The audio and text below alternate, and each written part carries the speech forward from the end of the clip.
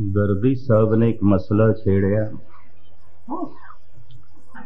ਤੇ ਜਿਸ ਦੀ ਕਾਫੀ ਸਟੇਜ ਤੇ ਚਰਚਾ ਹੈ ਤੇ ਚਰਚਾ ਚੱਲ ਰਹੀ ਹੈ। ਧੰਨ ਗੁਰੂ ਗੋਬਿੰਦ ਸਿੰਘ ਜੀ ਮਹਾਰਾਜ ਦਾ ਇੱਕ ਵਾਕ ਸਾਹਮਣੇ ਆ ਰਿਹਾ ਹੈ। ਤੋ ਉਸੇ ਦੀ ਵਿਚਾਰ ਇਸ ਵਕਤ ਮੈਂ ਆਪ ਜੀ ਦੇ ਸਾਹਮਣੇ ਰੱਖਣ ਦੀ ਨਿਮਾਣੀ ਕੋਸ਼ਿਸ਼ ਕਰ ਰਿਹਾ। ਧੰਨ ਗੁਰੂ ਗੋਬਿੰਦ ਸਿੰਘ ਜੀ ਮਹਾਰਾਜ ਦੀ ਅਸੀਸ ਦਾ ਸਦਕਾ शब्द सत्संगलियाँ ज़रूर चेते होवेगा। जागत जोत जपैन सबासर एक बिना मन नैक न आने। पूरन प्रेम प्रतीत सजे। व्रत गोड़ मड़ी मट भूल न माने। तीर्थ दान, दयादत संजम एक बिना न एक पछाने। पूरन जोत जगे घट में। कब खालिस काहन खालिस जाने। ਪ੍ਰਥਮ ਖਾਲਿਸ, ਖਾਲਸਾ ਸ਼ਬਦ ਪਰਸ਼ੀਅਨ ਦਾ ਹੈ ਫਾਰਸੀ ਦਾ। ਇਸ ਦੇ ਅਰਥ ਨੇ ਸ਼ੁੱਧ, ਪਾਵਨ, ਪਵਿੱਤਰ। ਮਨੁੱਖ ਦਾ ਕੁਦਰਤੀ ਸੁਭਾਅ ਹੈ, ਮਹਿਲ ਤੋਂ ਘਿਰਣਾ ਆਉਂਦੀ ਹੈ। ਮਹਿਲਾ ਚੰਗਾ ਨਹੀਂ ਲੱਗਦਾ। ਮਹਿਲ ਨੂੰ ਢਕਣਾ ਪੈਂਦਾ ਹੈ। ਫੁੱਲਾਂ ਨੂੰ ਢੱਕਣ ਦੀ ਲੋੜ ਨਹੀਂ, ਗੰਦਗੀ ਨੂੰ ਢੱਕਣਾ ਪੈਂਦਾ। ਜਾਂ ਇੰਜ ਕਹਿ ਦਈਏ ਜਿਸ ਨੂੰ ਢਕਣਾ ਪਏ, ਉਹ ਗੰਦਾ ਹੀ ਹੈ। ਜਿਸ ਨੂੰ ਢਕਣ ਦੀ ਲੋੜ ਨਹੀਂ, ਉਹ ਤੇ ਫੁੱਲਾਂ ਵਰਗਾ ਮਨੁੱਖ ਨੇ ਵੀ ਜੋ ਕੁਝ ਛੁਪਾਇਆ ਹੁੰਦਾ, ਉਹ ਠੀਕ ਨਹੀਂ ਹੁੰਦਾ। ਜੋ ਕੁਝ ਚੰਗਿਆਈਆਂ ਹੁੰਦੀਆਂ ਨੇ, ਉਹ ਤੇ ਬੰਦਾ ਹਥੇਲੀ ਤੇ ਲਈ ਫਿਰਦਾ, ਮੈਂ ਇਹ ਕੀਤਾ, ਮੈਂ ਇਹ ਕੀਤਾ, ਮੈਂ ਇਹ ਕੀਤਾ। ਬੜੇ ਬੜੇ ਮੰਦਰਾਂ ਦੇ ਉੱਤੇ ਲਿਖੀਆਂ ਹੋਈਆਂ ਸਿਲਾਂ ਗੁਰਦੁਆਰਿਆਂ 'ਚ ਮੈਂ ਇਤਨਾ ਦਾਨ ਦਿੱਤਾ ਹੈ, ਮੈਂ ਇਤਨਾ ਦਾਨ ਦਿੱਤਾ ਹੈ। ਅੱਜ ਤੱਕ ਕਿਸੇ ਗੁਰਦੁਆਰੇ ਇੱਕ ਸਿਲਾ ਵੀ ਨਹੀਂ ਦੇਖੀ ਜਿੱਥੇ ਲਿਖਿਆ ਹੋਵੇ, ਮੈਂ ਇਤਨਾ ਝੂਠ ਵੀ ਬੋਲਿਆ ਮੈਂ ਇਤਨੀ ਬੇਈਮਾਨੀ ਵੀ ਕੀਤੀ ਹੈ, ਮੈਂ ਇਤਨਾ ਅਨਰਥ ਵੀ ਕੀਤਾ ਉਹ ਤੇ ਬੰਦਾ ਛੁਪਾਉਂਦਾ ਹੈ। ਜੋ ਇਸਨੇ ਚੰਗਾ ਕੀਤਾ ਹੁੰਦਾ, ਉਹ ਮਨੁੱਖ ਦੋ ਹੱਥਾਂ ਤੇ ਲਈ ਫਿਰਦਾ ਹੈ। ਕਿ ਜੋ ਕੁਝ ਇਸਨੇ ਐਸਾ ਕੀਤਾ ਹੈ, ਜਿਸ ਤੋਂ ਸਮਾਜ ਦੇ ਅੰਦਰ ਘਿਰਣਾ ਪੈਦਾ ਹੋ ਸਕਦੀ ਹੈ, ਉਹਦੇ ਤੇ 100-100 ਪੜਦੇ ਪੰਦੇ ਖਾਲਿਸ ਖਾਲਸਾ ਪਾਵਨ ਪਵਿੱਤਰ ਸੁਧ। ਧੰਨ ਗੁਰੂ ਗੋਬਿੰਦ ਸਿੰਘ ਜੀ ਮਹਾਰਾਜ ਖਾਲਸੇ ਦੀ ਵਿਆਖਿਆ ਕਰ ਰਹੇ ਨੇ ਤੇ ਸਿਆਣੇ ਫਿਰ ਆਪੇ ਅੰਦਾਜ਼ਾ ਲਾਣ ਕਿਉਂਕਿ ਇਹਨਾਂ ਨੇ ਜੋ ਕੁਝ ਦਰਦੀ ਸਾਹਿਬ ਨੇ ਕਿਹਾ ਨਾ, ਮੈਂ ਤੇ ਇੱਕ ਦਿਨ ਵੀ ਨਹੀਂ ਚੱਲ ਸਕਦਾ। ਉਸ ਹਿਸਾਬ ਨਾਲ ਜਿਵੇਂ ਕਹਿੰਦੇ ਪੈਣ ਨਾ ਕਈਆਂ ਨੇ ਤੇ ਮਹੀਨਾ ਕਟਿਆ ਹੋਣਾ ਤੇ ਕਈਆਂ ਨੇ ਸਾਲਾਂ ਬਦੀ ਕਟਿਆ ਮੈਂ ਤੇ ਇੱਕ ਦਿਨ ਵੀ ਨਹੀਂ ਕੱਟ ਸਕਦਾ। ਮੁਖਤਸਰ ਅਰਜ਼ ਕਰਾਂ। ਜਾਗਤ ਜੋਤ ਜਪੈ ਨੇ ਸਬਾਸਰ ਇੱਕ ਬਿਨਾ ਮਨ ਨੈਕ ਨ ਆਨੇ। ਪੂਰਨ ਪ੍ਰੇਮ ਪ੍ਰਤੀਤ ਸਜੇ ਬ੍ਰਤ ਗੋੜ ਮੜੀ ਮਠ ਬਹੁਲ ਨ ਮਾਨੇ। ਪ੍ਰਥਮ ਪਰਮਾਤਮਾ ਜਾਗਿਆ ਹੋਇਆ ਸਤਿਗੁਰ ਜਾਗਤਾ ਹੈ ਦੇਵ। ਈਸ਼ਵਰ ਦੇ ਸੋਣਾ ਨਹੀਂ ਹੈ। ਭਗਵਾਨ ਦੇ ਚ ਨਿੰਦਰਾ ਨਹੀਂ ਹੈ। ਈਸ਼ਵਰ ਦੇ ਚ ਉਹ ਸਦਾ ਜਾਗਿਆ ਹੋਇਆ ਇਤਨਾ ਵੱਡਾ ਇਹ ਬ੍ਰਹਿਮੰਡ ਚੱਲ ਰਿਹਾ ਹੈ। ਅਗਰ ਇਸ ਨੂੰ ਚਲਾਉਣ ਵਾਲਾ ਹੀ ਸੌ ਜਾਏ। ਅਰਬਾਂ ਖਰਬਾਂ ਸੂਰਜ ਚੰਦ ਤਾਰੇ। ਆਵਾਜ਼ ਤੋਂ ਵੀ ਤਿੱਖੀ ਗਤੀ ਨਾਲ ਚੱਲ ਰਹੇ ਨੇ। ਅਗਰ ਇਹਨਾਂ ਨੂੰ ਚਲਾਉਣ ਵਾਲਾ ਹੀ ਸੌ ਗਿਆ ਤੇ ਸਾਰੇ ਹੀ ਟਕਰਾ ਜਾਣਗੇ। ਪਰ ਕਿਧਰੇ ਵੀ ਐਕਸੀਡੈਂਟ ਨਹੀਂ ਹੁੰਦਾ ਟਕਰਾਓ ਨਹੀਂ ਹੁੰਦਾ ਇੱਕ ਸੈਕਿੰਡ ਲਈ ਵੀ ਕਿਧਰੇ ਬੱਸ ਦਾ ਡਰਾਈਵਰ ਸੌ ਜਾਏ ਤਾਂ ਗਈ ਬੱਸ। ਇਤਨਾ ਵੱਡਾ ਬ੍ਰਹਿਮੰਡ, ਕੋਈ ਸੂਰਜ ਸੂਰਜ ਨਾਲ ਨਹੀਂ ਟਕਰਾਂਦਾ। ਕੋਈ ਚੰਦਰਮਾ ਚੰ드ਰਮਾ ਦੇ ਨਾਲ ਨਹੀਂ ਟਕਰਾਂਦਾ ਕੋਈ ਗ੍ਰਹਿ ਗ੍ਰਹਿ ਦੇ ਨਾਲ ਨਹੀਂ ਟਕਰਾ ਰਿਹਾ।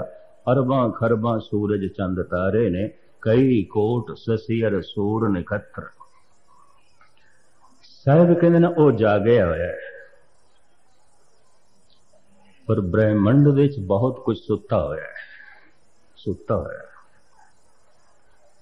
ਸਤਗੁਰ ਜਾਗਤਾ ਹੈ ਦੇਵ, ਜਿਸ ਦੀ ਇੰਜ ਗੁਰੂ ਅਰਜਨ ਦੇਵ ਜੀ ਵਿਆਖਿਆ ਕਰਦੇ ਨੇ। ਧਨ ਸੋਤੀ ਫਿਰ ਸਦ ਜਾਗੰਤਾ ਪਰਮਾਤਮਾ ਸਦਾ ਜਾਗਿਆ ਹੋਇਆ ਹੈ, ਜੀਵ ਸਦਾ ਸੁੱਤਾ ਹੋਇਆ ਹੈ। ਜਾਗੇ ਹੋਏ ਦਾ ਜਾਗੇ ਨਾਲ ਮਿਲਾਪ ਹੁੰਦਾ ਹੈ, ਸੁੱਤੇ ਦਾ ਜਾਗੇ ਨਾਲ ਨਹੀਂ, ਜਾਗੇ ਹੋਏ ਦਾ ਸੁੱਤੇ ਨਾਲ। ਦੋ ਸੁੱਤੇ ਨੀਂਦ ਦੇ ਚ ਨੇ ਕੁਝ ਵੀ ਪਤਾ ਨਹੀਂ, ਇੱਕ ਜਾਗਿਆ ਹੋਇਆ ਹੈ, ਇੱਕ ਸੁੱਤਾ ਹੋਇਆ ਤਾਂ ਵੀ ਇੱਕ ਦੂਸਰੇ ਦਾ ਪਤਾ ਨਹੀਂ। ਦੋਵੇਂ ਜਾਗੇ ਹੋਏ ਹੋਣੇ ਚਾਹੀਦੇ ਨੇ। ਈਸ਼ਵਰ ਜਾਗਿਆ ਹੋਇਆ ਹੈ, ਜੀਵਨ ਸੁੱਤਾ ਹੋਇਆ ਹੈ ਤੇ ਜੀਵਨ ਦੇ ਗੁਰਬਾਣੀ ਨੇ ਚਾਰ ਭਾਗ ਕੀਤੇ ਨੇ। ਪ੍ਰਥਮ ਪੱਥਰ, ਫਿਰ ਬਨਸਪਤੀ, ਫਿਰ ਪਸ਼ੂ ਪਕਸ਼ੀ, ਫਿਰ ਮਨੁੱਖ। ਮਨੁੱਖ ਨੂੰ ਅਸ਼ਰਫੁਲ ਮਖਲੂਕਾਤ ਜਿਹੜਾ ਕਹੇ ਹੈ, ਉਹ ਮਹਿਜ਼ ਇਸ ਵਾਸਤੇ ਬਾਕੀਆਂ ਨਾਲੋਂ ਜ਼ਿਆਦਾ ਜਾਗਿਆ ਹੈ। ਪੱਥਰ ਪੂਰਾ ਸੁੱਤਾ ਹੋਇਆ ਹੈ। ਔਰ ਆਪ ਸੁਣ ਕੇ ਹੈਰਾਨ ਹੋਵੋਗੇ ਗੁਰਬਾਣੀ ਪੱਥਰ ਨੂੰ ਜੋਨ ਮੰਨਦੀ ਹੈ। ਧੰਨ ਗੁਰੂ ਰਾਮਦਾਸ ਜੀ ਮਹਾਰਾਜ ਦਾ ਵਾਕ, ਕਈ ਜਨਮ ਸੈਲ ਗਿਰ ਕਰਿਆ ਪਤਾ ਨਹੀਂ ਕਿਤਨੇ ਸਮੇਂ ਤੱਕ ਇਹ ਮਨੁੱਖ ਤੋਂ ਪੱਥਰ ਹੀ ਰਿਹਾ ਪਤਾ ਨਹੀਂ ਪੱਥਰ ਕਦੋਂ ਮਿੱਟੀ ਬਣਿਆ, ਮਿੱਟੀ ਕਦੋਂ ਬਨਸਪਤੀ ਬਣੀ। ਬਨਸਪਤੀ ਚੱਲਦੀ ਚੱਲਦੀ ਕਦ ਪਸ਼ੂ ਪਕਸ਼ੀ ਬਣੀ? ਤੇ ਪਸ਼ੂ ਪਕਸ਼ੀ ਕਿਤਨੀ ਲੰਬੀ ਯਾਤਰਾ ਤੋਂ ਬਾਅਦ ਬਣੇ ਮਨੁੱਖ? ਆਪ ਸੁਣ ਕੇ ਹੈਰਾਨ ਹੋਗੇ ਅਜੋਕਾ ਵਿਗਿਆਨ ਇਸ ਨਾਲ ਸਹਿਮਤ ਹੋ ਗਿਆ। ਸਾਇੰਸ ਸਹਿਮਤ ਹੁੰਦੀ ਜਾ ਰਹੀ ਹੈ। ਈਸ਼ਵਰ ਜਾਗਿਆ ਹੋਇਆ ਹੈ। ਇਹ ਧਰਤੀ ਸੂਰਜ ਦਾ ਟੁਕੜਾ ਹੈ, ਸੂਰਜ ਅਗ ਦਾ ਗੋਲਾ ਇਹ ਜਦ ਠੰਡੀ ਹੋਈ ਤਾਂ ਪੱਥਰ ਪੱਥਰ ਸੀ। ਇਸ ਪੱਥਰ ਨੂੰ ਹਜ਼ਾਰਾਂ ਸਾਲ ਲੱਗ ਗਏ ਮਿੱਟੀ ਬਣਨ ਦੇ ਤੇ ਮਿੱਟੀ ਨੂੰ ਅਨੰਤ ਕਾਲ ਲੱਗਿਆ ਬਨਸਪਤੀ ਬਣਨ ਦੇ ਪੱਥਰ ਪੂਰਾ ਸੁੱਤਾ ਹੋਇਆ ਹੈ। ਪੱਥਰ ਦੇ ਵਿੱਚ ਭੁੱਖ ਨਹੀਂ, ਪਿਆਸ ਨਹੀਂ। ਪੱਥਰ ਮੁਰਝਾਂਦਾ ਨਹੀਂ, ਖਿੜਦਾ ਨਹੀਂ। ਪੱਥਰ ਦੀ ਕੋਈ ਸਮਾਜਿਕ ਜ਼ਿੰਮੇਵਾਰੀ ਨਹੀਂ, ਪੱਥਰ ਦੀ ਕੋਈ ਧਾਰਮਿਕ ਜ਼ਿੰਮੇਵਾਰੀ ਨਹੀਂ, ਪੱਥਰ ਦੀ ਕੋਈ ਰਾਜਨੀਤਿਕ ਜ਼ਿੰਮੇਵਾਰੀ ਪੱਥਰ ਦੁੱਖ ਸੁੱਖ ਤੋਂ ਵੀ ਨਿਆਰਾ ਹੈ। ਦੋ ਸ਼ਬਦ ਬਰਦਾਸ਼ਤ ਕਰਨਾ। ਸੰਤ ਕੈਸਾ ਹੁੰਦਾ ਹੈ? ਕਹਿੰਦੇ ਦੁੱਖ ਸੁੱਖ ਤੋਂ ਨਿਆਰਾ ਹੁੰਦਾ ਹੈ, ਪੱਥਰ ਦੁੱਖ ਸੁੱਖ ਤੋਂ ਨਿਆਰਾ ਹੈ। ਹਰ ਇੱਕ ਸੁੱਖ ਤੋਂ ਨਿਆਰਾ ਹੈ ਸੰਤ। ਹਰ ਇੱਕ ਸੁੱਖ ਤੋਂ ਨਿਆਰਾ ਹੈ ਪੱਥਰ। ਕਹਿੰਦੇ ਨੇ, ਜਿਹੜੀ ਚੀਜ਼ ਮਨੁੱਖ ਦੇ ਅਨੁਭਵ ਦੇ ਚ ਨਾ ਹੋਵੇ, ਮਨੁੱਖ ਉਸ ਦੀ ਮੰਗ ਨਹੀਂ ਕਰ ਸਕਦਾ। ਅਗਰ ਮਨੁੱਖ ਸੁੱਖ ਦੀ ਮੰਗ ਕਰਦਾ ਹੈ ਤਰ੍ਹਾਂ ਤਰ੍ਹਾਂ ਦੇ ਹਾਦਸਿਆਂ ਤੋਂ ਬਚਣਾ ਚਾਹੁੰਦਾ ਹੈ ਤੇ ਜ਼ਿੰਮੇਵਾਰੀਆਂ ਦੇ ਬੋਝਾਂ ਤੋਂ ਵੀ ਬਚਣਾ ਚਾਹੁੰਦਾ ਹੈ, ਇਸ ਤਰ੍ਹਾਂ ਦੀ ਜ਼ਿੰਦਗੀ ਇਸਨੇ ਦੇਖੀ ਹੈ। ਦੇਖੀ ਹੈ। ਭਾਵੇਂ ਅਚੇਤਪਣੇ 'ਚ ਹੀ ਦੇਖੀ ਹੋਵੇ। ਪਰ ਸੰਸਕਾਰ ਮੌਜੂਦ ਨੇ। ਇਤਨੀ ਮਹਿਰਸ ਕਰਦੇ ਆ ਜੈਸੇ ਇੱਕ ਨਵਾਂ ਜਨਮਿਆ ਬੱਚਾ ਹੈ, ਉਹਨੂੰ ਕੁਝ ਵੀ ਪਤਾ ਨਹੀਂ ਹੈ ਪਾਣੀ ਦਾ, ਲੇਕਿਨ ਪਿਆਸ ਤੇ ਹੈ ਉਸ ਦੇ ਕੋਲ। ਕਿ ਪਿਆਸ ਕਿਵੇਂ ਬੁਝੇਗੀ ਇਸ ਨੂੰ ਪਾਣੀ ਦਾ ਕੋਈ ਗਿਆਨ ਨਹੀਂ, ਪਾਣੀ ਦੇਖਿਆ ਵੀ ਨਹੀਂ ਅਜੇ। ਅਜੇ ਤੇ ਆਇਆ ਜਗਤ ਦੇ ਚ ਅਜੇ ਤੇ ਮਾਂ ਦੀ ਗੋਦ ਦੇ ਚ ਇਹਨੂੰ ਭੁੱਖ ਵੀ ਲੱਗਦੀ ਹੈ। ਪਰ ਕੁਝ ਵੀ ਖੁਰਾਕ ਦਾ ਪਤਾ ਨਹੀਂ ਹੈ ਭੁੱਖ ਕਿਵੇਂ ਮਿਟੇਗੀ ਇਹ ਵੀ ਨਹੀਂ ਪਤਾ ਲੇਕਿਨ ਭੁੱਖ ਹੈ ਇਸ ਕੋਲ ਸਿਰਫ ਰੋਣਾ ਹੈ ਭੁੱਖ ਰੁਲਾ ਦਿੰਦੀ ਹੈ ਪਿਆਸ ਤੜਪਾ ਦਿੰਦੀ ਹੈ ਪਿਆਸ ਪਾਣੀ ਨਾਲ ਬੁਝੇਗੀ ਇਸ ਨੂੰ ਕੋਈ ਪਤਾ ਨਹੀਂ ਇਹ ਭੁੱਖ ਦੁੱਧ ਨਾਲ ਮਿਟੇਗੀ ਭੋਜਨ ਨਾਲ ਮਿਟੇਗੀ ਇਸ ਨੂੰ ਕੋਈ ਬੋਧ ਨਹੀਂ ਲੇਕਿਨ ਭੁੱਖ ਰੋਣ ਤੇ ਮਜਬੂਰ ਕਰਦੀ ਹੈ। ਕਿਉਂਕਿ ਮਨੁੱਖੀ ਬੱਚੇ ਦਾ ਕੁਝ ਅੰਗ ਜਾਗ ਗਿਆ ਹੈ। ਪੱਥਰ ਦੇ ਵਿੱਚ ਭੁੱਖ ਨਹੀਂ, ਪਿਆਸ ਨਹੀਂ। ਪੱਥਰ ਦੇ ਵਿੱਚ ਸੁੱਖ ਨਹੀਂ, ਦੁੱਖ ਨਹੀਂ। ਪੱਥਰ ਦੇ ਵਿੱਚ ਹਾਸਾ ਨਹੀਂ, ਰੋਣਾ ਨਹੀਂ। ਪੱਥਰ ਮੁਰਝਾਂਦਾ ਨਹੀਂ ਕੁਮਲਾਂਦਾ ਨਹੀਂ ਔਰ ਖੇੜਾ ਵੀ ਨਹੀਂ। ਕਹਿੰਦੇ ਨੇ ਸੰਤ ਵੀ ਇਹਨਾਂ ਗੱਲਾਂ ਤੋਂ ਨਿਆਰਾ ਹੀ ਜਾਂਦਾ ਦੁੱਖ ਸੁੱਖ ਤੋਂ ਨਿਆਰਾ ਹੁੰਦਾ। ਤਾਂ ਪੱਥਰ ਵੀ ਨਿਆਰਾ ਹੈ ਦੁੱਖ ਸੁੱਖ ਤੋਂ ਨਿਆਰੀ ਅਵਸਥਾ ਮਨੁੱਖ ਨੇ ਜ਼ਰੂਰ ਦੇਖੀ ਹੈ ਇਹ ਵੀ ਮੈਂ ਅਰਜ਼ ਕਰਦੇ ਹਾਂ ਇਸ ਚੱਕਰ 'ਚ ਨਾ ਪੈਣਾ ਕਿ ਸੁੱਖ ਤੇ ਸਾਡੀ ਮੰਗ ਹੈ ਸੁੱਖ ਆਪਣੀ ਤਰ੍ਹਾਂ ਦਾ ਬੋਝ ਹੈ ਦੁੱਖ ਆਪਣੀ ਤਰ੍ਹਾਂ ਦੇ ਬੋਝ ਨੇ ਕੋਈ ਸੁੱਖਾਂ ਦੇ ਬੋਝ ਥੱਲੇ ਦੱਬੇ ਹੋਏ ਨੇ ਕੋਈ ਦੁੱਖਾਂ ਦੇ ਬੋਝ ਥੱਲੇ ਦੱਬੇ ਹੋਏ ਨੇ ਇਹ ਗੱਲ ਵੱਖਰੀ ਹੈ ਕਿ ਬਹੁਤਿਆਂ ਨੇ ਦੁੱਖਾਂ ਦੇ ਬੋਝ ਦੇਖੇ ਨੇ, ਲੇਕਿਨ ਬਥੇਰਿਆਂ ਨੇ ਸੁੱਖਾਂ ਦੇ ਵੀ ਬੋਝ ਦੇਖੇ ਨੇ। ਦੇਖਿਆ ਹੈ ਕਿ ਦੁੱਖ ਵੀ ਮਨੁੱਖ ਨੂੰ ਆਪਣੀ ਥਾਂ ਤੋਂ ਹਿਲਾ ਦਿੰਦਾ ਹੈ, ਸੁੱਖ ਵੀ ਆਪਣੀ ਥਾਂ ਤੋਂ ਹਿਲਾ ਦਿੰਦਾ ਹੈ। ਬਲਕਿ ਸੁੱਖ ਜ਼ਿਆਦਾ ਹਿਲਾ ਦਿੰਦਾ ਹੈ। ਇਤਨੇ ਦੁਖੀ ਮਨੁੱਖ ਨਾਸਤਿਕ ਨਹੀਂ ਜਿਤਨੇ ਸੁਖੀ ਮਨੁੱਖ ਨਾਸਤਿਕ ਨੇ। ਸੁਖ ਵੀ ਮਨੁੱਖ ਨੂੰ ਆਪਣੀ ਥਾਂ ਤੋਂ ਹਿਲਾ ਦਿੰਦਾ ਹੈ। ਦੁੱਖ ਵੀ ਮਨੁੱਖ ਨੂੰ ਆਪਣੀ ਥਾਂ ਤੋਂ ਹਿਲਾ ਦਿੰਦਾ ਹੈ। ਪੱਥਰ ਦੁਖੀ ਨਹੀਂ ਆਉਂਦਾ, ਸੁਖੀ ਨਹੀਂ ਆਉਂਦਾ। ਪੱਥਰ ਦੀ ਕੋਈ ਸਮਾਜਿਕ ਜ਼ਿੰਮੇਵਾਰੀ ਨਹੀਂ। ਪੱਥਰ ਦੇ ਆਵਾਜ਼ ਵੀ ਨਹੀਂ, ਅਲਫਾਜ਼ ਵੀ ਨਹੀਂ। ਲੇਕਿਨ ਸਹਜੇ ਸਹਜੇ ਇਹ ਜੀਵਨ ਗਤੀਮਾਨ ਰਿਹਾ ਪੱਥਰ ਪੂਰਾ ਸੁੱਤਾ ਹੋਇਆ ਹੈ। ਪ੍ਰਮਾਤਮਾ ਪੂਰਨ ਜਾਗਿਆ ਹੋਇਆ ਹੈ। ਪੱਥਰ ਪੂਰਾ ਸੁੱਤਾ ਹੋਇਆ ਹੈ। ਯਾਤਰਾ ਜੀਵਨ ਦੀ ਪੱਥਰਾਂ ਤੋਂ ਆਰੰਭ ਹੋਈ। ਇਸ ਵਾਸਤੇ ਪੱਥਰਾਂ ਦੀ ਮਮਤਾ ਤੇ ਅੱਜ ਵੀ ਮੌਜੂਦ। ਹੈ ਕਿਸੇ ਨਾ ਕਿਸੇ ਰੂਪ ਵਿੱਚ। ਬੜੀ ਪ੍ਰਬਲ ਰੂਪ ਵਿੱਚ ਮੌਜੂਦ ਹੈ। ਮਨੁੱਖ ਪੱਥਰ ਦੀ ਮੂਰਤੀ ਬਣਾਉਣਾ ਚਾਹੁੰਦਾ ਹੈ। ਆਪਣੀ ਮੂਰਤੀ ਵੀ ਪੱਥਰ ਦੀ ਬਣਾਉਣਾ ਚਾਹੁੰਦਾ ਹੈ। ਪਰ ਕੌਣ ਦੱਸੇ ਪੱਥਰ ਦੀ ਮੂਰਤੀ ਤਾਂ ਪਤਾ ਨਹੀਂ ਕਿਤਨੇ ਸਮੇਂ ਤੱਕ ਤੁਰੇ ਆ ਰਿਹਾ ਹੀ ਪੱਥਰ ਕਹਿੰਦੇ ਨੇ ਖਿੱਚ ਆਉਂਦੀ ਹੈ ਮਾਜ਼ੀ ਦੀ ਖਿੱਚ ਆਉਂਦੀ ਹੈ ਭਵਿਸ਼ ਦੀ। ਇਹ ਪਿਛੋਕੜ ਵੀ ਖਿੱਚਦਾ ਹੈ। ਪੱਥਰ ਵੀ ਖਿੱਚਦਾ ਹੈ। ਮਨੁੱਖ ਰਿਹਾ ਹੈ ਪੱਥਰ। ਸਹਜੇ ਸਹਜੇ ਲੰਬੀ ਯਾਤਰਾ ਤੋਂ ਬਾਅਦ ਇਹ ਪੱਥਰ ਬਣਿਆ ਬਨਸਪਤੀ। ਬਨਸਪਤੀ ਦੇ ਵਿੱਚ ਪਿਆਸ ਪੈਦਾ ਹੋ ਗਈ। ਬਨਸਪਤੀ ਕੁਮਲਾਂਦੀ ਏ ਖਿੜਦੀ ਏ ਬਨਸਪਤੀ ਮੌਸਮ ਤੋਂ ਵੀ ਪ੍ਰਭਾਵਿਤ ਹੁੰਦੀ ਹੈ। ਗਰਮੀ ਤੋਂ ਪ੍ਰਭਾਵਿਤ ਹੁੰਦੀ ਹੈ। ਸਰਦੀ ਤੋਂ ਪ੍ਰਭਾਵਿਤ ਹੁੰਦੀ ਹੈ। ਬਨਸਪਤੀ ਥੋੜਾ ਜਿਹਾ ਦੁੱਖ ਸੁੱਖ ਵੀ ਮਹਿਸੂਸ ਕਰਦੀ ਹੈ, ਕਿਉਂਕਿ ਥੋੜਾ ਜਿਹਾ ਜਾਗ ਗਈ ਹੈ, ਥੋੜੀ ਜਿਹਾ ਜਾਗਰਤੀ ਪੈਦਾ ਹੋ ਗਈ ਲੇਕਿਨ ਬਨਸਪਤੀ ਦੀ ਵੀ ਕੋਈ ਸਮਾਜਿਕ ਜ਼ਿੰਦਗੀ, ਧਾਰਮਿਕ ਜ਼ਿੰਦਗੀ, ਰਾਜਨੀਤਿਕ ਜ਼ਿੰਦਗੀ ਨਹੀਂ।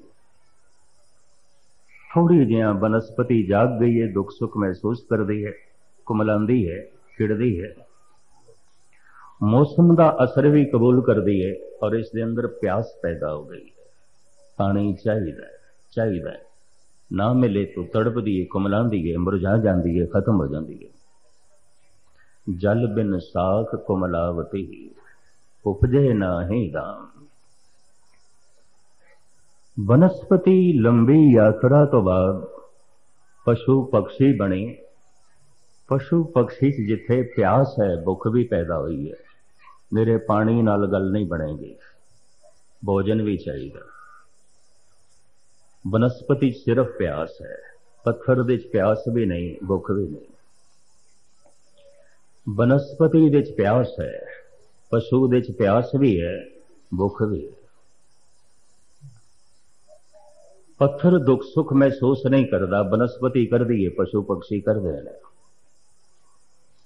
ਪਸ਼ੂ ਪਕਸ਼ੀ ਜ਼ਿਆਦਾ ਦੁੱਖ ਸੁੱਖ ਮਹਿਸੂਸ ਕਰਦੇ ਨੇ, ਜ਼ਿਆਦਾ ਜਾਗ ਗਏ ਨੇ। ਜਿੱਥੇ ਬਨਸਪਤੀ 2% ਜਾਗੀ ਉੱਥੇ ਪਸ਼ੂ ਪਕਸ਼ੀ 5-6% ਜਾਗ ਗਏ ਨੇ। ਅੱਗੇ ਚਲੀਏ ਇਹ ਮਨੁੱਖ, ਇਸ ਦੇ ਅੰਦਰ ਪਿਆਸ ਤੇ ਹੈ, ਭੁੱਖ ਵੀ ਹੈ, ਸੁੱਖ ਦੁੱਖ ਵੀ ਨੇ। ਸਰਦੀ ਗਰਮੀ ਤੋਂ ਵੀ ਇਹ ਪ੍ਰਭਾਵਿਤ ਹੁੰਦਾ ਹੈ। ਲੇਕਿਨ ਮਨ ਬਣ ਗਿਆ, ਵਿਕਸਿਤ ਹੋ ਗਿਆ, ਵਿਚਾਰ ਸ਼ਕਤੀ ਚੱਲ ਪਈ ਹੈ ਸੋਚਣ ਲੱਗ ਪਿਆ ਹੈ। ਇਸ ਦੇ ਕੋਲ ਇੱਕ ਨਵੇਂ ਦੁੱਖ ਨੇ ਜਨਮ ਲਿਆ ਜੋ ਪਸ਼ੂਆਂ ਕੋਲ ਨਹੀਂ ਹੈ, ਬਨਸਪਤੀ ਕੋਲ ਨਹੀਂ ਹੈ, ਪੱਥਰ ਕੋਲ ਤੇ ਹੈ ਹੀ ਨਹੀਂ। ਇਸ ਵਾਸਤੇ ਰੋਹੇ ਜ਼ਮੀਨ ਤੇ ਇੱਕ ਦਾਵੇ ਨਾਲ ਆਖੀ ਜਾ ਸਕਦੀ ਹੈ, ਨਾ ਪਸ਼ੂ ਇਤਨੇ ਦੁਖੀ ਨੇ, ਨਾ ਬਨਸਪਤੀ ਜਿਤਨਾ ਮਨੁੱਖ ਦੁਖੀ ਹੈ। ਬਨਸਪਤੀ ਨੂੰ ਪਾਣੀ ਮਿਲ ਜਾਂਦਾ ਹੈ, ਪਸ਼ੂ ਪਕਸ਼ੀਆਂ ਨੂੰ ਮਿਲਦਾ ਹੈ, ਕਿਆ ਮਨੁੱਖ ਨੂੰ ਨਹੀਂ ਮਿਲਦਾ? ਮਿਲਦਾ ਹੈ। ਸਰੀਰਕ ਲੋੜਾਂ ਦੀ ਪੂਰਤੀ ਪਸ਼ੂ ਪਕਸ਼ੀਆਂ ਦੀ ਹੁੰਦੀ ਹੈ। ਬਨਸਪਤੀ ਦੀ ਵੀ ਹੁੰਦੀ ਹੈ ਔਰ ਮਨੁੱਖਾਂ ਦੀ ਵੀ ਹੁੰਦੀ ਹੈ।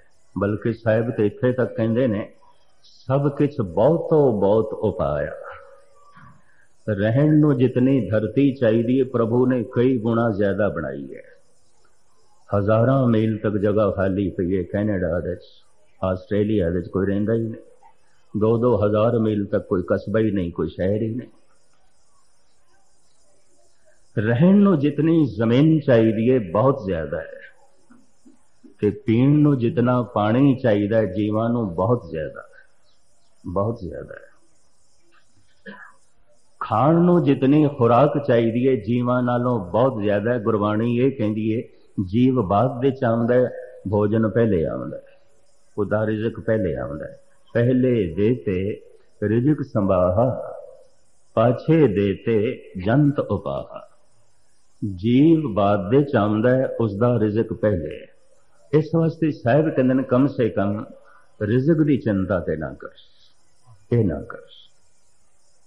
ਨਾ ਕਰ ਚਿੰਤ, ਚਿੰਤਾ ਹੈ ਕਰਤੇ। ईरानी सूफी संत शेख सादी साहब तो कहते ने गमे रोजी मफुर, और कोई गम करना ही तो कर ले। ऐ गम ना करिए, रिजक गमे रोजी मफुर, मजन और के दफ्तर रा के पेशे अस्त फल एजद कल कुनद पस्ताने मागर रा। ਬੱਚੇ ਦਾ ਜਨਮ ਬਾਅਦ ਦੇ ਚ ਹੈ, ਮਾਂ ਦੇ ਅਸਥਣਾ ਦੇ ਚ ਦੁੱਧ ਪਹਿਲੇ ਹੈ। ਰਿਜ਼ਕ ਪਹਿਲੇ ਹੈ, ਜਨਮ ਬਾਅਦ ਦੇ ਚ। ਜੀਵ ਬਾਅਦ ਦੇ ਚ। ਸ਼ੇਖ ਸਾਦੀ ਕਹਿੰਦੇ ਨੇ, ਇਥੋਂ ਕਿਉਂ ਨਹੀਂ ਤੂੰ ਪ੍ਰੇਰਣਾ ਲੈਂਦਾ? ਰਿਜ਼ਕ ਪਹਿਲੇ ਹੈ, ਜੀਵ ਬਾਅਦ ਦੇ ਚ ਹੈ। ਪੇਸ਼ੇ ਅਸਤੇ ਫਲ ਏਜ਼ਦ ਕਲ ਕੁਨਦ ਪਸਤਾਨੇ ਮਾਦਰ। ਰਾ ਦੁੱਧ ਤੇ ਪਹਿਲੇ ਹੈ, ਬੱਚੇ ਦਾ ਜਨਮ ਬਾਅਦ ਦੇ ਚ ਹੈ। ਜਗਤ ਦੇ ਜੀਵ ਬਾਦ ਦੇ ਚਾਹੁੰਦੇ ਨੇ ਰਿਜ਼ਕ ਪਹਿਲੇ। ਤੋ ਮਹਿਰਸ ਕਰਾਂ ਸਰੀਰਕ ਲੋੜਾਂ ਦੀ ਪੂਰਤੀ ਤੇ ਪ੍ਰਕਿਰਤੀ ਕਰ ਦਿੰਦੀ ਹੈ ਪਰ ਮਨੁੱਖ ਸਿਰਫ ਸਰੀਰ ਨਹੀਂ, ਮਨ ਹੈ। ਕਿ ਤਨ ਦੇ ਨਾਲ ਨਾਲ ਮਨ ਹੈ।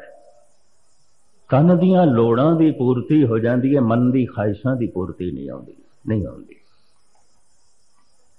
ਤੋ ਮਨੁੱਖ ਮਾਨਸਿਕ ਤਲ ਤੇ ਦੁਖੀ ਹੈ। ਦੁਖੀ ਹੈ। ਔਰ ਇਹ ਦੁੱਖ ਮਨੁੱਖ ਦਾ ਪਸ਼ੂ ਪਕਸ਼ੀਆਂ ਨਾਲੋਂ ਵਧਿਆ ਹੋਇਆ ਹੈ, ਬਨਸਪਤੀ ਨਾਲੋਂ ਵਧਿਆ ਹੋਇਆ ਹੈ, ਕਿਉਂਕਿ ਜ਼ਿਆਦਾ ਜਾਗ ਗਿਆ ਤੇ ਹੁਣ ਮੈਂ ਅਰਜ਼ ਕਰਾਂ, ਜੋ ਇੱਕ ਸੰਤ ਹੈ, ਅਭਿਆਸੀ ਹੈ, ਬੈਰਾਗੀ ਹੈ, ਧਾਰਮਿਕ ਹੈ, ਉਹ ਆਮ ਬੰਦਿਆਂ ਨਾਲੋਂ ਜ਼ਿਆਦਾ ਪੀੜਾ ਦੇ ਚੋਂ ਲੰਘਦਾ ਹੈ। ਉਸ ਪੀੜਾ ਦਾ ਜ਼ਿਕਰ ਗੁਰੂ ਤੇਗ ਬਹਾਦਰ ਸਾਹਿਬ ਨੇ ਕੀਤਾ ਬਾਬੇ ਫਰੀਦ ਨੇ ਕੀਤਾ ਕਿਉਂਕਿ ਜ਼ਿਆਦਾ ਜਾਗ ਗਏ ਨੇ। ਜਿਹੜਾ ਜਿਤਨਾ ਜ਼ਿਆਦਾ ਸੁਚੇਤ ਹੋਵੇਗਾ, ਉਤਨਾ ਹੀ ਬੇਚੈਨ, ਦੁਖੀ ਵਿਆਕੁਲ ਹੋਵੇਗਾ। ਪੱਥਰ ਵਿਆਕੁਲ ਨਹੀਂ ਆਉਂਦੇ, ਅਚੇਤ ਬਨਸਪਤੀ ਪਰੇਸ਼ਾਨ ਨਹੀਂ ਆਉਂਦੀ, ਅਚੇਤ ਹੈ। ਕੋਈ ਚਿੰਤਾ, ਵਮ, ਫਿਕਰ, ਵਿਆਕੁਲਤਾ, ਬਿਰਹੇ ਦੀ ਪੀੜਾ ਪਸ਼ੂ ਪਕਸ਼ੀਆਂ ਚ ਨਹੀਂ ਨੇ, ਅਚੇਤ ਨੇ। ਥੋੜੇ ਜਾਗੇ। ਮਨੁੱਖ ਜ਼ਿਆਦਾ ਜਾਗੇ। ਮਨੁੱਖਾਂ ਦੇ ਚੋਂ ਵੀ ਜਾਗਰਤੀ ਦੀ ਆਪਣੀ ਆਪਣੀ ਮਿਕਦਾਰ ਹੈ। ਮਨੁੱਖਾਂ 'ਚ ਕੋਈ 8ਵੀਂ ਸਦੀ ਜਾਗਿਆ ਕੋਈ 10ਵੀਂ ਸਦੀ, ਕੋਈ 11 12 ਤੇ ਚਿੰਤਕ ਐਸਾ ਕਹਿੰਦੇ ਨੇ ਜੋ ਦਾਰਸ਼ਨਿਕ ਨੇ, ਫਿਲਾਸਫਰ ਨੇ, ਸਾਇੰਟਿਸਟ ਨੇ, ਬੜੇ ਵੱਡੇ ਵੱਡੇ ਕਲਾਕਾਰ ਨੇ, ਬੌਧਿਕ ਤਲ ਤੇ ਜੀਣ ਵਾਲੇ ਨੇ ਉਹ ਵੀ 14 ਫੀਸਦੀ ਤੋਂ ਜ਼ਿਆਦਾ ਜਾਗੇ ਹੋਏ ਨਹੀਂ ਨੇ। ਬਾਕੀ ਭਾਗ ਸੁੱਤਾ ਹੋਇਆ ਹੈ। ਪਰ ਜੋ 14 ਫੀਸਦੀ ਜਾਗੇ ਆ, ਬਾਕੀ ਨਾਲੀ ਜ਼ਿਆਦਾ ਦੁਖੀ ਹੈ, ਮਾਨਸਿਕ ਤਲ ਤੇ ਜਿਤਨਾ ਜਾਗਦਾ ਹੈ, ਉਤਨੀ ਅੰਦਰ ਇੱਕ ਪੀੜਾ ਪੈਦਾ ਹੁੰਦੀ ਹੈ। ਜਿਤਨਾ ਜ਼ਿਆਦਾ ਜੋ ਜਾਗਦਾ ਹੈ, ਉਤਨਾ ਸੰਸਾਰ ਇਹ ਜਗਤ ਖਿਲੌਣਾ ਪ੍ਰਤੀਤ ਹੁੰਦਾ ਇਹ ਵੀ ਮਹਿਰਜ ਕਰਦੇ ਹਾਂ जैसे गालिब कहता है बाजीच है इतफाल है दुनिया मेरे आगे होता है शब रोज तमाशा मेरे आगे ਇਹ ਸਾਰਾ ਜਗਤ ਬੱਚਿਆਂ ਦਾ ਖੇਲ ਹੈ ਕੁਝ ਵੀ ਨਹੀਂ ਕੁਝ ਵੀ ਨਹੀਂ ਹੈ ਮਨੁੱਖ ਜਿਨ੍ਹਾਂ ਜਿਨ੍ਹਾਂ ਚੀਜ਼ਾਂ ਲਈ ਰੋਂਦਾ ਹੈ ਤੜਪਦਾ ਹੈ ਗਾਲਿਬ ਕਹਿੰਦਾ ਹੈ ਬੱਚਿਆਂ ਦਾ ਖੇਲ ਹੈ ਕੁਝ ਵੀ ਨਹੀਂ ਕੁਝ ਵੀ ਨਹੀਂ ਸਿਆਣਾ ਬੰਦਾ ਹੈ ਮੈਂ ਫਿਰ ਅਰਜ਼ ਕਰਾਂ, ਜਿਤਨਾ ਸਿਆਣਾ ਹੋਵੇਗਾ, ਉਤਨਾ ਹੀ ਦੁਖੀ ਹੋਵੇਗਾ। ਬੇਚੈਨ, ਵਿਆਕੁਲਤਾ, ਦੁੱਖ ਸਿਆਣਪ ਦੀ ਪਹਿਚਾਣ ਹੈ, ਪੱਥਰ ਨਹੀਂ ਦੁਖੀ ਹੁੰਦੇ। ਪੱਥਰ ਨਹੀਂ ਵਿਆਕੁਲ ਹੁੰਦੇ, ਪੱਥਰ ਨਹੀਂ ਬੇਚੈਨ ਹੁੰਦੇ। ਕਿਉਂਕਿ ਸੁੱਤਾ ਹੋਇਆ ਹੈ, ਬਿਲਕੁਲ ਸੁੱਤਾ ਹੋਇਆ ਹੈ। ਇਹ ਵਿਆਕੁਲਤਾ, ਬੇਚੈਨੀ ਇੱਕ ਸੌਗਾਤ ਦੀ ਤਰਫੋਂ ਪ੍ਰਮਾਤਮਾ ਵੱਲੋਂ ਮਿਲੀ ਹੈ। ताकि मनुख इस जीवन ते संतुष्ट ना हो जाए। पत्थर ते संतुष्ट है, ठीक है? पत्थर ठीक है। दरअसल, क्योंकि सोच शक्ति आरंभ नहीं हुई तो दुख सुख तो न्यारा है।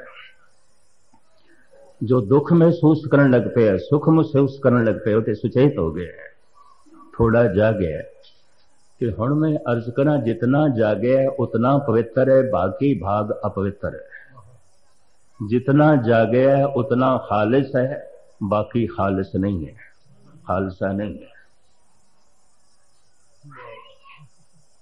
अचेत मैला है सुचेत ही पावन है पवित्र है ਕਿ ਧੰਨ ਗੁਰੂ ਗੋਬਿੰਦ ਸਿੰਘ ਜੀ ਮਹਾਰਾਜ ਕਹਿੰਦੇ ਨੇ ਤੂੰ ਆਪਣੇ ਆਪ ਨੂੰ ਜਗਾ ਤਾਂ ਕਿ ਪੂਰਾ ਜਾਗ ਜਾਏ, ਜਿਵੇਂ ਪ੍ਰਮਾਤਮਾ ਜਾਗੇ ਹੋਏ ਤੇ ਤੂੰ ਜਾਗੇ ਜਾਗੇ ਹੋਏ ਦਾ ਹੀ ਜਾਗੇ ਨਾਲ ਸੰਬੰਧ ਜੁੜਦਾ ਹੈ, ਸੁੱਤੇ ਹੋਏ ਦਾ ਜਾਗੇ ਨਾਲ ਨਹੀਂ। ਤੋ ਮਹਾਰਾਜ ਫਿਰ ਕਿਵੇਂ ਜਗਾਈਏ? ਆਪਣੇ ਨੂੰ ਕਿਵੇਂ ਜਗਾਈਏ? ਤੋ ਧੰਨ ਗੁਰੂ ਗੋਬਿੰਦ ਸਿੰਘ ਜੀ ਮਹਾਰਾਜ ਕਹਿੰਦੇ ਜਾਗਤ ਜੋਤ ਜਪੈ ਨਿਸਭਾਸਰ ਇੱਕ ਬਿਨਾ ਮਨ ਇੱਕ ਨਾਮ ਉਹ ਜੋ ਜਾਗਦੀ ਜੋਤ ਹੈ, ਉਹਦੇ ਨਾਮ ਦਾ ਜਪ ਕਰ। ਤੇ ਉਹਦੇ ਨਾਮ ਦਾ ਜਿਹੜਾ ਜਪ ਹੈ ਉਸ ਨੂੰ ਸੁਣਾਉਣ ਵਾਸਤੇ ਨਹੀਂ।